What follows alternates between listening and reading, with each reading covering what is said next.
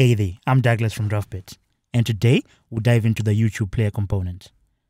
This component is a powerful tool that allows you to embed and play YouTube videos directly within your app. Whether you're showcasing a playlist, a tutorial, or a single video, the YouTube Player makes it seamless to integrate YouTube's content inside your application. In this video, we'll explore how to set up the component, configure its properties, and style it to match your application's look and feel. We'll also cover advanced options like autoplay, working with video IDs, and even using playlists. To get started, let's add the YouTube Player component to the screen. In DraftBit, head over to the Components tab on the left side, click Add, then in the search, we're going to search for YouTube. And the YouTube Player, we click, and it gets added to the screen. Now that the component is on the screen, let's dive into the properties, starting with the Data tab.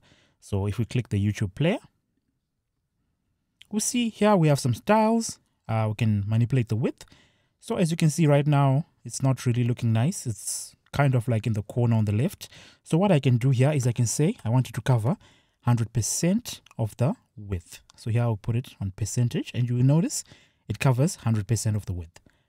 Let's go over to the data tab. And the first thing that we see on the data tab is the video ID.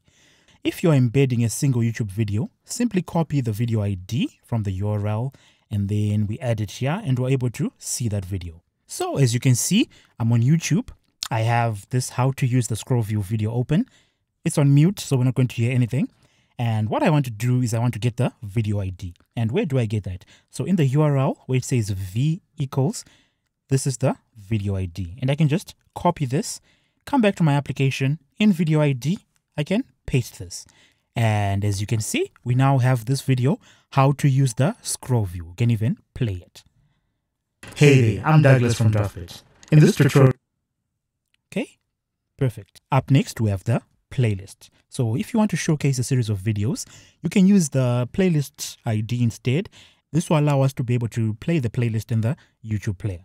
So if we go back to the video, we'll notice that this is in a, in a DraftBit uh, playlist code components. And the ID of that playlist is where it says list equals. We grab that entire ID, copy that ID, go back to DraftBit where it says playlist, we paste that ID in. And now notice that our player now has this playlist component. We click that and we can go through all the videos. We can now click and be able to play the next hey video. I'm Douglas from DraftBit. In today's video, That's all it takes to connect to your YouTube content. Next, let's move to the configurations. So next up here, we have configurations and the first thing that we see is the component name. So this is an optional field where you can give uh, the component a descriptive name. For example, if you're using the player for a tutorial, you could name it uh, tutorial video player. And this allows us to name it inside the component tree. And you can imagine a situation where we have lots of uh, YouTube players. We'll be able to track which one we are currently working on. Then up next, we have the autoplay.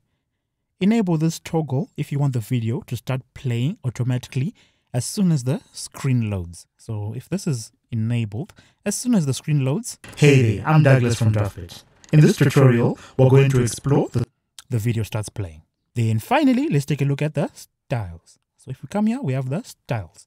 The most important style property for the YouTube player is its size. You can adjust the width and height to fit the player within your app layout. For example, what we did when the player first loaded, it was taking about half the width and we made it take 100% of the width. We can change that. We can come here, we can say we want to take 80% of the width. We can also play around with height. Right now it's 250 points. I can come in here, I can, I can say 450 50 points. And now our video now has more height. Again, let me put it back on 100. And yeah, that's how you use the YouTube player component DraftBit. To recap, we covered how to add the component to the screen, configure the video ID, the playlist ID, customizing the behavior with configuration properties like autoplay, styling the component to suit your design. And with these tools, you can easily integrate uh, engaging video content into your app, whether it's tutorial, promotional content, or playlists. Thank you for watching. Don't forget to like, share, subscribe for more DraftBit tutorials. See you in the next video.